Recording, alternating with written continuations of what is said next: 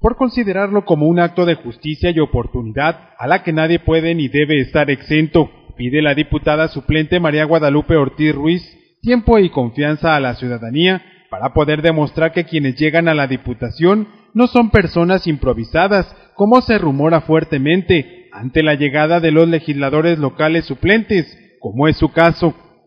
El mundo político ante la sociedad tiene las críticas más fuertes que se pudieran conocer, pero en realidad aquí nosotros estamos siendo bien informados, nos están capacitando para que nosotros también este, demos nuestro punto de vista y conozcamos todas nuestras responsabilidades que nos corresponden. Yo creo que vamos a tener aquí mucho campo abierto para podernos expresar. Yo no siento que nomás venimos a levantar la mano.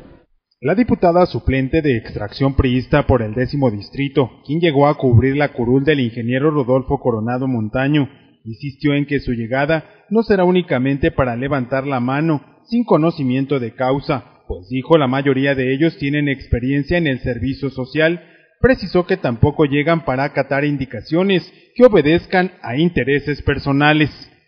El estar en un, lugar como esto es para conocer precisamente los problemas y necesidades que la misma, el mismo pueblo tiene.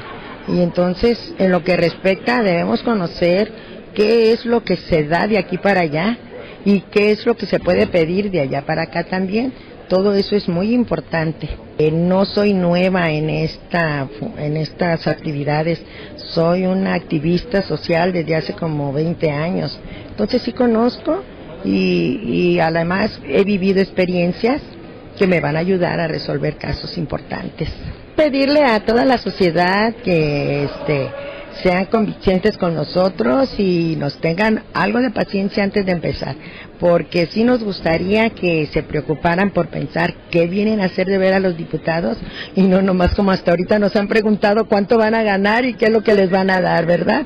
Nosotros necesitamos que confíen en todo lo que nosotros vamos a poder hacer aquí.